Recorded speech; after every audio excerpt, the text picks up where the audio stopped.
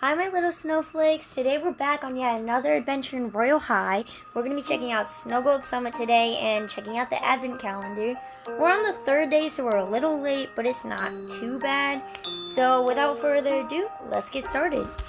Before we check out the advent calendar, let's spin the wheel and see what we get.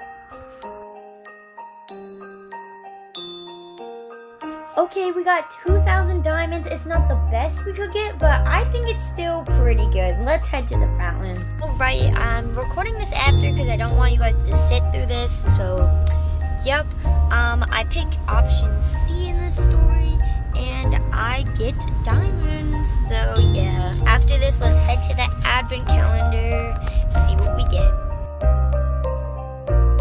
Alright, everybody, here we are at Snow Globe Summit. I had my alt send me a card because I just didn't feel like asking somebody. So, yep, we got the reindeer crossbody on my. Oh, I got the candelabra thing. So, yeah. Um, here I clicked through the 21 and 20 presents, and yeah, I really don't know what else to say. So, let's do our daily login and then end this video. Alright, guys, we're at the apartment, so let's do the login. Okay, I currently only have a streak of one because I can't hold it to save my life, but that's okay.